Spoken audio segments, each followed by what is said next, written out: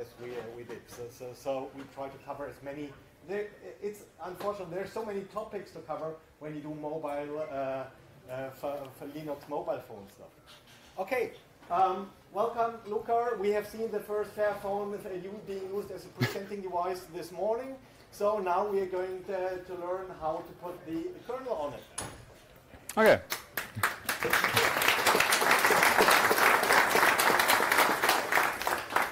Thank you. Um, yeah, so kind of very quickly, who am I? My name is Luca Weiss, been maintaining phones since like 2017. I'm a postmarketOS core team member, and also my day job is uh, Android platform engineer at Fairphone. Um, kind of about the background of how the whole situation. So I mean, uh, Qualcomm has a lot of lot of uh, SoCs, like system on a chip. Uh, there's quite a lot of or actually already supported. So you see the, all this all these wonderful numbers here. There, there's uh, the, the ones launched since 20, 2018, so like in the last four years. And they're already supported in mainline, as in they have a DTSI file, and you can build something on top of this, and it's booting. Uh, but of course, there's also many, many others that are not supported, um, especially mid-end ones, like the high-end ones are normally very quickly supported by Linaro. So like, for example, the SM8550 um, is the newest one. It was basically supported on day one, or it's the same with the S, uh, SM8450. Um, but yeah, the other ones are not. But you can, of course, do it yourself. Um, so the device, Fairphone 4, uh, used the Snapdragon 700, 750G, it's the SM725. Yeah, launched like a year and four months ago, running the 4.19 kernel, so which is already, I mean, we're at 6.2 nearly. Um, and yeah, like what I have so far working on the 4.9, uh, on the on the 6.1 or 6.2 kernel, is like yeah, all the basics that you can see here. Um, USB, including uh, nearly the USB role switching, you so you can actually plug in, for example, a keyboard into the device and not just use it like as a gadget. Um, internal storage and SD card, so the UFS um, and other things. Um, display with backlight control, which is separate components, touchscreen, GPU, um, Wi-Fi. The remote procs, which is like separate um, cores in the, in the, on the SoC they're actually all booting, but uh, at least for the modem one, I'm actually not really able communi to communicate with it. Mobile data could also in theory work, so the, the Linux driver initializes, it actually gets the remote proc up, it already does some, some initialization things there, but it's not really testable without actually having the modem up. Uh, so it's kind of, kind of untested, it's upstream already. Um, vibration motor, the um, flash and torch LED, which is actually um, was upstreamed recently or is in the process of getting upstreamed. Uh, the camera I2C bus, so I can actually talk with like the I2C set and I2C get commands. I can talk with the camera um, and like get the get the chip ID. So so that works, but yeah, not really much more useful with the camera yet. And also lots of other plumbing, which includes like um, yeah, of course, all the I2C buses, interconnect, so like the bus scaling, uh, cache scaling, cache scaling, and yeah, a bunch of other stuff that's useful. So kind of what isn't working yet after this one one year and four months that I've been sort of working on it. Um, I have some parts that are actually sort of working. Um, it's like the speaker. Um, I do have, I can get sound out of the speaker. Um, it is super quiet for some reason. I don't know why. And also for some of the audio formats, it actually doesn't play at all for some reason. I know. Um, one of the problems with the speaker is also like not very many phones in mainline actually, like Qualcomm phones have, have audio working. So it is, um, it is still kind of a new area where this, yeah, when a lot of things are kind of unknown. Um, Bluetooth I have based on some chip, uh, on some patch that I found. Um, you can get it on the Bluetooth. You can make the phone discoverable, so you can it's you can see it on other devices. You can actually connect other devices to it.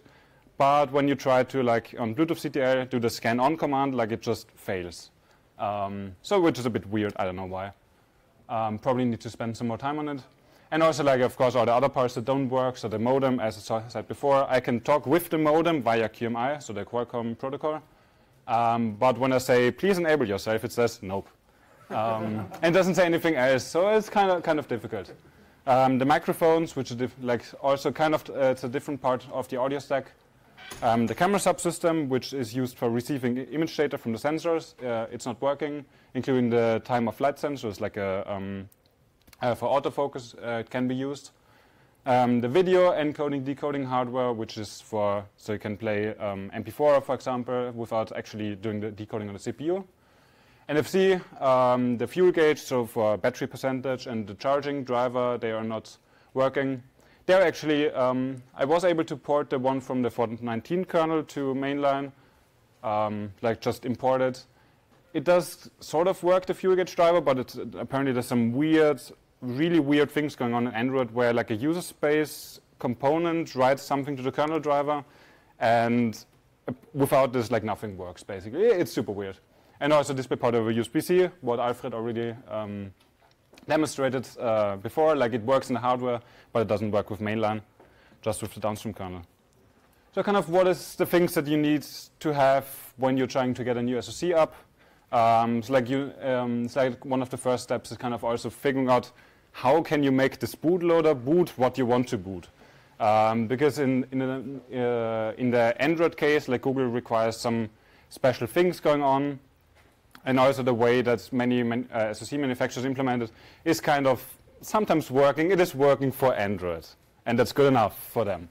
Um, but uh, for example, the DTBO partition, which is device tree blob overlay, um, on some devices you can just fastboot erase it, and then it doesn't try to apply some overlay for the for the old kernel on top of the new kernel, which doesn't work and doesn't make any sense. On some devices, just crashes and burns, and yeah, it, it is not fun. Um, so mostly you can do this. There's also on new devices with GKI, the generic kernel image from Google. Um, there's also the vendor boot partition. I actually have no idea what this one does and how you um, how you need to wipe it to be able to do something. Um, the serial console is actually quite useful if you can have access to it in the bootloader, if it doesn't boot. Um, like if, if you cannot even get Linux booting, Normally on the serial console, it will say what it's doing and why it's not doing the things that you want to do. Um, it's like, yeah, on the Fairphone 4, on the new SoC, I got the first boot actually after some hours of working on it, um, which contains the earlycon, so it's just um, basically already set up um, area where the where Linux driver can write to it and you get serial output. And also display via simple frame buffer, which is actually now way more easy than getting USB up or getting actually proper serial console up. Uh, so it's super nice, um, simple frame buffers where the bootloader already sets up the, the display, um, yeah, the display uh, hardware correctly. So um, Linux actually just has to write to some memory area the, by, uh, the bytes for the pixels, and it will just magically appear on the screen. It is very nice, very useful. Um, and yeah, like the first boot was like 180 lines of, um, of the DTSI for the SoC and 40 lines for the device. So yeah, total 220. And like no single driver change was necessary for getting a completely new SoC booting anything basically. Um, yeah, I was, I was basically just following what uh, Iskren wrote on his blog mainlining.dev. Um, super nice. Uh, it really contains useful steps for the very, very first things that you need to do. Um, yeah, so if you want to go a bit further, uh, you very quickly start to need the clock driver, which is a GCC uh, global clock controller driver. There you can basically just take whatever Qualcomm gives you, uh, for, for, for example, for the 419 kernel, copy it over, modify a few small things, but then it works. Um, you also, at least for the 419 kernel, also these power domains, which is like, is some concept in Linux. Um Uh, it's called also called GDSCs. Uh, you need to uh, they were a bit differently implemented, not, not in the GCC driver, but you should put them in the GCC driver for mainline. Now, so yeah, more clocks with the RPMH. Um, also, like various other bits uh, you should add to the DTS because otherwise it just won't. Like random things won't work, uh, which are dependencies that are not really um, expressed in the in the device tree, but the drivers still need, for example, access to the SMEM for like doing various things. Um, these data definitions are basically all the same in downstream, so you can also mostly copy them over. Don't blindly copy them over because it will be slightly different, um, but you can definitely get good inspiration of like what you need to do. USB is of course kind of the next step because yeah, just um, staring at the tiny text on the screen is not very good debugging, and you also, also don't have any input. You can do surprisingly much with simple frame buffer, but yeah, at some point you of course want uh, USB. At some point also um, pin control driver, which is the, for the pin multiplexing. Um, this is really only starts getting useful once you get to like more advanced components, let's say for like I2C and other things. Um, and also regulators are important at some point. I think there's actually I don't know if you already need this for USB or not. Um, but these are kind of the, the basic components that you need, and then you can start building actually enabling various components that you find, like the flash driver, the um, vibration motor, and like things that talk I2C and things that talk other protocols. Um, of course, lots of things that can go wrong. Um, the IMMU is especially on new Qualcomm chipsets. It's kind of annoying. I mean, it's less annoying than old ones, but it's still annoying um, because a lot of things, like or some things that you do. Um, oh yeah, let's talk about IMMU directly first. Um, so, like, what's a bit different between downstream kernel and also mainline is the bootloader already initializes some um, something in this memory segregation, or like SMMU is also called. I initialized some things for the bootloader to use, for example, for the, for the internal storage, it already initialized it. Um, this then normally gets um, on downstream kernel, um, it just continues using those and adds some ones on top.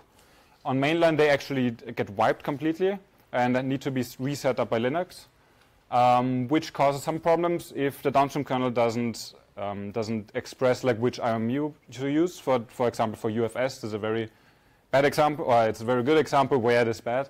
Um, so you kind of need to find out, find out there's a patch um, there you can actually dump the mappings, um, and yeah, you can use this to like figure out what it is.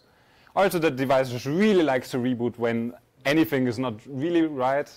If you access some register and the clock and some clock isn't on that it requires, it just reboots. It doesn't give you a kernel panic, it just reboots you're writing to the wrong register, it reboots. Uh, the IMU is defined wrong, it just reboots.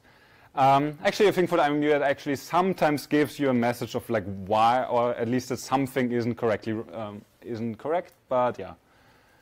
For printing, what I've actually used sometimes is just printing the current line where it is in the driver, like sprinkling this everywhere, uh, adding a sleep of like half a second, and then seeing like, oh, this is the last line that I, that I was seeing, so it's probably um, messing up there like maybe also increasing the sleeps because sometimes the um, the flushing doesn't happen, like um, printing it on the screen actually is, is a bit slow. Um, what's also helpful, like once you have like um, um, more USB up, you can actually also build various drivers as modules, uh, and this way, actually, yeah, it's not built in. In, if it's built in, it loads like it's I don't know, it uh, like kernel log second 0.5 which is quite early, and uh, it, if it then crashes immediately, you don't really have any time to de debug. But if you build this module, you can load it later and actually have something set up already.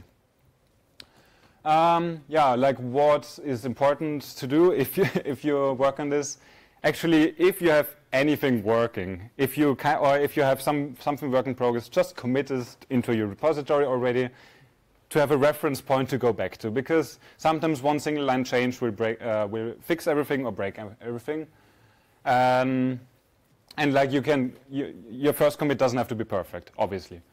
Um, or, but also don't let the, um, this git branch that you have lying around once you have something working don't let it sit around in your local repository on your github fork or in your gitlab repository or wherever forever and don't upstream it because then it will just rot there and nobody will know that it's there and they will probably, like this next person has to do exactly the same thing again, even though you have already got it working. So like already start upstreaming your patches early, like if you have simple frame buffer booting on the, on the device, upstream it. it would be very nice because we, there's also a better overview of like which SoCs have already been worked on. Um, and it's very nice. Um, of course, like when you upstream it, you also have to do some, some extra things. For example, adding the new compatible strings that are used in the device tree, add it to the documentation, and do some things there. But it's normally it's it is yeah some some extra work, but it's really not too bad. And also, yeah, patches just because of how Linux development works just takes takes some time uh, to to get upstream. Um, so like two months later, if you go to if you rebase on a new version, your patches are already there, so you can build on top and have, don't have like 100 patches lying on, in your own tree. Also, like git send email is not difficult. Um, if there's a wonderful guide, git send email.io from the Source developers, it explains it super nice. Uh, once you have it configured once, it just works. Uh, yeah, thanks for listening. we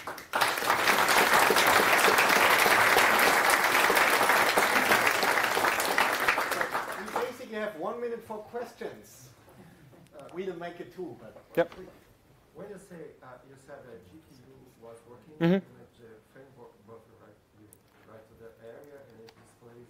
Um, when you get GPU working, you should also actually get the display hardware uh, working properly. So this, um, but yeah, um, this was fortunately done for for this SoC was done by Konrad, who is uh, who knows a lot there. Like he got the display hardware completely up and the GPU also. Um, uh, this is used for actually because simple frame buffer you cannot turn off the screen. You cannot basically do anything except just write pixels to memory, uh, write data to or by, write bytes to memory area, and that's it. Um, yeah, so G you actually need to get the display hardware also up, but then you also get uh, can get the GPU up. And yeah, this one works uh, really well in mainline. Like I ran performance benchmark on it, it's actually not too bad. It's actually relatively close to the downstream version. Yeah. Uh, I've contributed to the um, SDM 625. Mm -hmm. I would like to know how to upstream and manage the complexity of funnels, generated funnels. Uh, either the panels. Um, yeah, the panel drivers are still, I think in general, a question of like how they should be handled upstream because in theory, I think the panel drivers are not really generic or I mean, they're, they are not generic, uh, but in theory, they're, they're um, relevant to the, uh, to the display controller and not actually the panel itself, which is two separate parts. But like um, without having actually access to like all the documentation that are like internal to the company, you won't find out which which driver this actually is. And currently, let them sit around in your tree. Um, they, I mean, most of them you can also just generate from the downstream DTB, and it works. So good enough for for now. At some point, we probably figured out, but uh, MSM 8, 9, 16 people also. Uh, they, they have like already like 20 or 30 panels there. Last, last question, yeah. and then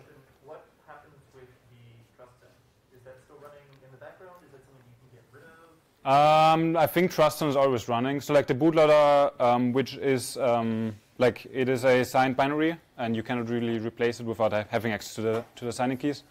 Um, it is running, I think, and it also it, I think this is uh, the thing that kills your that kills the phone, like when you're doing something wrong. Uh, so no, you cannot get rid of it.